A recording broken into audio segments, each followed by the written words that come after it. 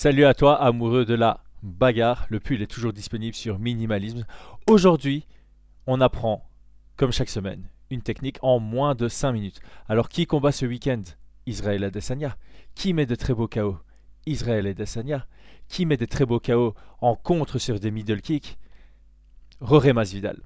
Roré Masvidal combat ce week-end et il nous a offert un très très beau double KO contre Donald Cerrone et deux fois sur la même logique c'est bloquer, chasser le middle kick et pendant la rétraction, venir chercher à contrer. C'est très malin, il faut un très bon timing, c'est assez risqué. Mais si on arrive à avoir la distance et se dire ok je vais bloquer le kick, le chasser pour venir contrer, le gros avantage c'est que le pied de l'adversaire qui a frappé n'est pas encore au sol.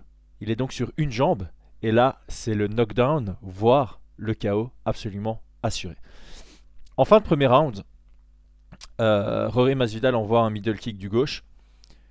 Donald Cerrone répond avec un middle kick du gauche. Donc ici, ça fonctionne très bien qu'on soit en garde ouverte ou en garde fermée, quand un kick vient de notre côté ouvert. Donc si on est en garde fermée, droitier contre droitier comme ici, et que notre adversaire fait un switch kick, switch middle kick, c'est parfait. Si on est en garde fermée, euh, pardon, en garde ouverte, gaucher contre droitier, et que notre adversaire envoie un kick de la jambe arrière, cette technique va fonctionner. Donc la première étape, c'est évidemment ne pas l'encaisser. Donc on va chercher à bloquer. Alors ici, on va le voir sous un autre angle. Roré Masvidal le bloque avec son corps. Mais évidemment, moi je vais vous apprendre la version optimale, c'est vraiment bloquer avec le bras. On a l'impression qu'il bloque avec le bras, en tout cas c'est ce qu'il cherche à faire. Et ensuite il vient crocheter la jambe avec son bras opposé.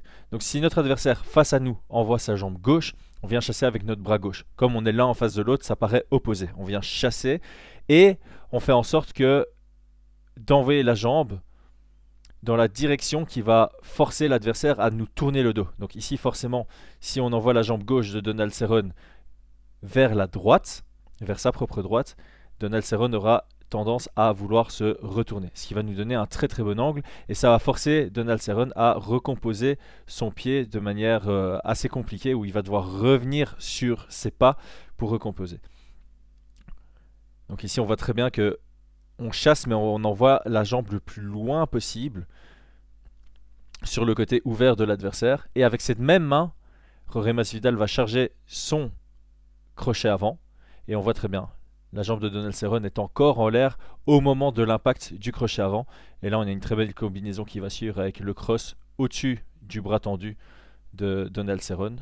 C'est vraiment le cross counter comme on appelle et puis il vient chercher encore un crochet, et forcément, comme Donald Cerrone n'était que sur un appui, eh ben, il tombe sur ses fesses.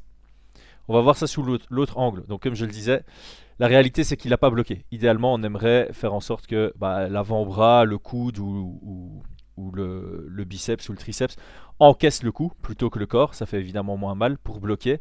Et là, on va très vite voir la main gauche de Roré Masvidal qui va venir prendre la jambe. Hop, il attrape pour venir la chasser du côté fermé de Donald Cerrone. Et là, on voit très bien, au moment de l'impact, le pied de Donald Cerrone n'est pas encore au sol. Et au moment de la deuxième frappe, il est en train seulement de récupérer sa posture, mais il n'est pas du tout dans le, bon angle. Sa ligne d'attaque, elle va vers la cage plutôt que d'aller vers Roré Masvidal. Donc forcément, il peut se faire toucher sans toucher son adversaire, sans le contrer. Masvidal était vraiment en très bonne posture. Dans le deuxième round, après moins d'une minute. Exactement la même situation avec un Donald Cerrone qui cherche à envoyer non pas le middle kick mais le high kick plus ou moins. La logique est la même. Ici c'est bloqué, vous l'avant-bras de Masvidal passe entre l'arme, c'est-à-dire le kick de Donald Cerrone, et la cible, c'est-à-dire la, la, tête de, de Masvidal. Il vient attraper la jambe, même logique. Il retire son corps donc ici on voit, hein, il retire son corps et en même temps il fait passer la jambe du côté fermé de Donald Cerrone pour attaquer de nouveau avec le crochet.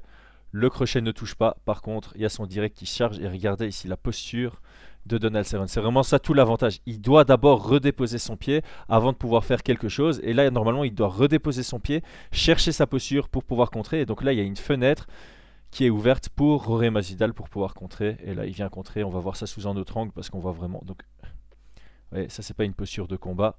Il est obligé de recomposer. Mais avant même qu'il recompose, le direct touche et ça l'envoie au tapis.